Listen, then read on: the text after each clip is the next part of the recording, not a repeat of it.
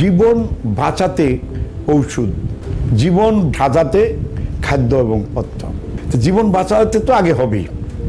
না হলে আমরা আপনাদের, আমাদের কথা কে শুনবে আর আপনাদের কথা আমরা কীভাবে বুঝব বলেন? আমরা সুস্থ, সুন্দর না থাকলে কীভাবে হবে বলেন? মুখ দিয়ে সব রোগ হয় শুরু। এই মুখ দিয়ে কিন্তু সব রোগ হয় শুরু।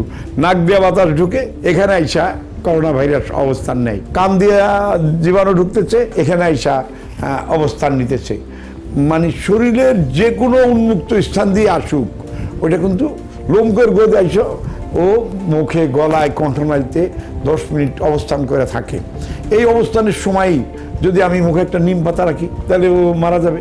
আমি মুখে যদি একটা লবঙ্গ রাখি, মারা যাবে। আমি যদি আদা রাখি, একটু কাঁচা হলুদ মুখে রাখি, গালের ভিতরে একটা গোলমরিচ ফেলে রাখি। দেখেন, আমার কথাগুলো আপনি প্রতিদিন শোনেন, যখন একটু দেখেন। আপনি আজকেই দু তিনটা গোলমরিচ আপনার গালের ভিতরে ফেলে রাখেন। দেখেন, আপনি সর্দি, কাশি, ঠান্ডা কোল্ডেরাজি ডাক্তারাজি স্যানিটারি পুরুচি নিউমোনিয়া টিবি যক্ষা বক্ষবিধির সমস্যা, আলহামদুলিল্লাহ, আপনার থাকবে না। আপনার শুনলে অবাক হবেন যে হাতের কাছে এত মহা ঔষধ আমাদের আল্লাহ তালা দিছে যে রোগ ব্যাধি আধা, আরোগ্য হয় খেলে আদা। অর্ধেক রোগ ভালো করার ক্ষমতা রাখে আদা। আপনি চুষে চুষে আদা খেতে পারেন, কাঁচা আদা খেতে পারেন, আপনি ঘরের আদা খেতে পারেন। এটার সাথে একটু কাঁচা হলুদ খেলে আরও শক্তিশালী হবে। আদা বলছি, আর বাকিটা পূরণ হয়ে গেল। আপনি এটার সাথে যদি একটু লবঙ্গ খান, আরও বেশি রেজাল্ট পাবেন। এর সাথে গোলমরিচ খান, আরও বেশি রেজাল্ট পাবেন। আপনি যদি এটার সাথে লেবু, ভিটামিন সি, আমাদের শরীরের জন্য এ টু জেড, আমাদের প্রতিটা লোমকূপের গুড়ায় বাহাত্তর ঘণ্টা পর্যন্ত কাঁচা লেবু বা কাঁচা কমলার রসের অ্যাকশনটা থাকবে।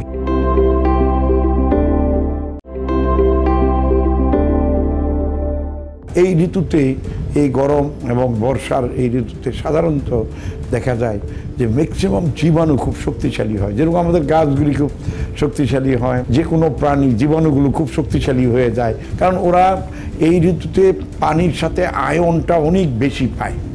এই পানির সাথে অনেক শক্তি পায়। ওই পানিকে বিশুদ্ধ করার জন্যই আমাদের যত কথা, যত চিন্তা, যাতে আষাটটি হাজার গ্রাম থেকে পানিবাহিত রোগের রুগীরা যেন শহরে এসে ডায়রিয়া, বিভিন্ন রকম রোগে ভুগতেছে, আমাশায় ভুগতেছে, আইবিএসে ভুগতেছে, পেটে ব্যথার যত রোগ আছে সবগুলোর সাথেই আমাশার স্টমাক অ্যালার্জির একটা সম্পর্ক আছে। সেইখানেই সম্পর্ক আছে পানি। আমাদের পানি আমাদেরকে বিশুদ্ধ করতে হবে।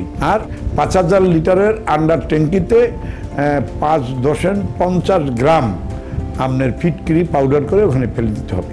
খুব সহজ এবং সহজ এবং সহজলভ্য, সস্তার একটা বিশুদ্ধ পানি, পাঁচ হাজার লিটার পানি আপনি মোটামুটি দশ টাকায় বিশুদ্ধ করতে পারবেন। এটা আপনার ধরে নেবেন চল্লিশ দিন মানে এক মাসের মতো। এখন আন্ডার ট্যাঙ্কিং থেকে আপনি পাম্প করে পানি তো আপার ট্যাঙ্কিতে নিয়ে গেলেন। আপার ট্যাঙ্কিতেও আপনার এই পাঁচ হাজার লিটার পানিকে কিন্তু নিরাপদ করতে হবে। কারণ এই রাস্তায় পথের মাঝে এই বিভিন্ন পাইপের মাধ্যমে যে পানিটা আসতেছে, যাইতেছে, ওইখানেও পানিটা আবার একটু হ্যাজার দিতে পারে। ওইখানে আপনার অর্ধেক ফিটকিরি দিতে হবে। এখানে যদি আপনি দশ গ্রাম করে পাঁচ হাজার লিটারে পঞ্চাশ গ্রাম দেন, তো ওখানে দিবেন আপনি পঁচিশ গ্রাম। পঁচিশ গ্রাম দিয়ে রাখলে আবার আপনি ওইখানেও চল্লিশ দিনের জন্য নিরাপত্তা নিলেন।